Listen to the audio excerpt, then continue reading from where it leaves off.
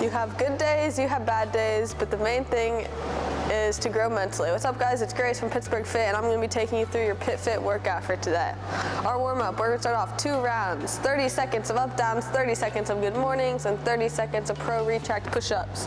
So these up downs, you're gonna come down, you're gonna place your hands onto the ground, hinge at the hips, jump your feet back into that plank, and stand up nice and tall. Good, we're gonna be going through these for 30 seconds here before coming up into good mornings. So from here, we're gonna hinge at the hips. Our back's gonna stay nice and flat. Our chest comes down towards the ground and stand on up. Good, keep a slight bend in those knees. Warm up those hamstrings here. Our last 30 second interval we have is pro retract push-up. So we're gonna come down into a plank position, keep those arms nice and straight. Shoulder blades are gonna be doing all the work here, squeezing them down and then pushing them up. Good that one more time before getting into the second part of our warm-up. We'll grab a barbell for this. We got two rounds, 10 clean deadlifts, 10 high hang high pulls, and 10 hang muscle cleans. All right, so these clean deadlifts, you're gonna have your hands in that clean grip position right outside of your hips. From here, you're gonna come down, hinge, Bend down once you pass those knees. Your butt's gonna be down a little bit more than um, a traditional deadlift, all right? It's the starting position of our clean is what we're going for. Then you'll bring those knees back and stand on up, good. Notice she's keeping the bar nice and close the whole rep. That's what we're looking for there.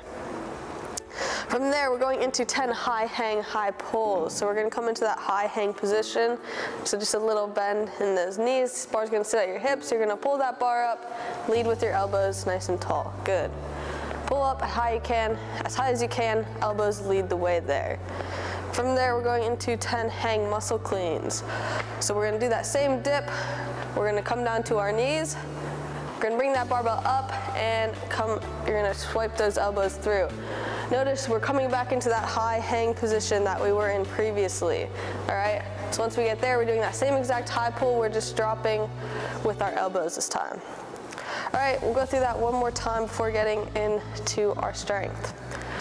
All right, that's gonna take us into our strength for today. We're doing four working sets here. Our rep schemes are gonna be six, four, four, two. Our goal is to build to a heavy weight here. So power clean. We're gonna be starting from the floor. So we're combining this clean deadlift with everything else we did earlier. So starts from the floor. You're gonna pull your knees back. That bar stays nice and close. Then that's gonna come all the way up to your hips. Once you get to your hips, you're gonna do that high pull like before. Jump and extend, good. Right, we wanna make sure we're catching with those elbows up nice and tall. All right, if we don't let those elbows come through, that bar might fall forward and that is not what we're looking for. So you go for six, then you're gonna go for a set of four, another set of four, and finally a set of two. All right, don't be afraid to go heavy today for those two reps. That's gonna take us into our workout, all right? We have a benchmark, Elizabeth-ish, all right? for time, 18, 15, 12, 9 of hang power cleans and hand release push-ups. So we've done a bunch of power cleans now, we're all warmed up, all right? These ones will not be from the floor, we're coming from the hang position, so right above that knee. All right, so dip, good, start from the knee, jump up, just like before, we're finishing in that same exact way. High pull, elbows come through. Good. Once you finish 18 reps of those, you go into hand release push-ups. So you're gonna come down onto the floor into that plank position. Drop your chest to the floor, lift those hands up and press up. Good. All right, try not to use your legs or anything, any of your lower body. We're really trying to isolate those triceps here to get the most out of it. So once again, you'll have 18 hang power cleans, 18 hand release push-ups, 15, 15, 12, 12, 9, 9. All right, that's gonna be for time. As soon as you finish that, you call it a day. But we have a finisher for you, all right? That wasn't enough. We have a six minute EMOM, 25 seconds of an overhead plate reverse lunge plus a 25 second gun hold, all right? So this overhead plate reverse lunge, exactly like it sounds, you're gonna extend those arms forward, that plate's gonna be over your head, you're gonna step back, reverse lunge, and good, stand up. Notice her chest is up nice and tall, all right, the whole time. We're not dropping forward here. All right, we want that good posture. I should be able to read whatever is on her shirt the entire time. 25 seconds, go, all right? And then you will go into a 25 second gun hold. So you're gonna bring that plate up, good, right by your side.